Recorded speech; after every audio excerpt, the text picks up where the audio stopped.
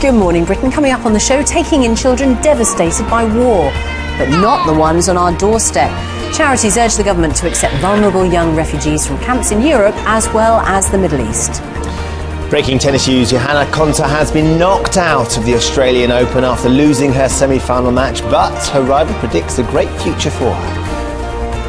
Would you like to work for just six hours a day on the same pay you get now? Well, one company tried it and productivity went through the roof. We'll find out what they did.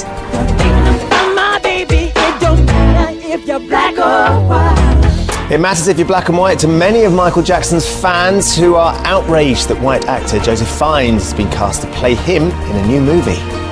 Thursday, 28th of January 2016, live from ITV Studios in London. This is Good Morning Britain.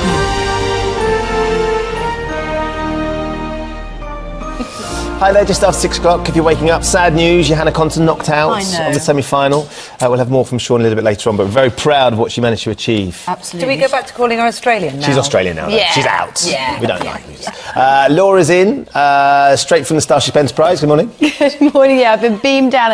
It is cold this morning. A cold start for many. An icy start through parts of northern Scotland. Just two or three degrees for many of us. So wrap up warm. Watch out for those icy stretches. But at least there'll be a little bit of winter sunshine Charles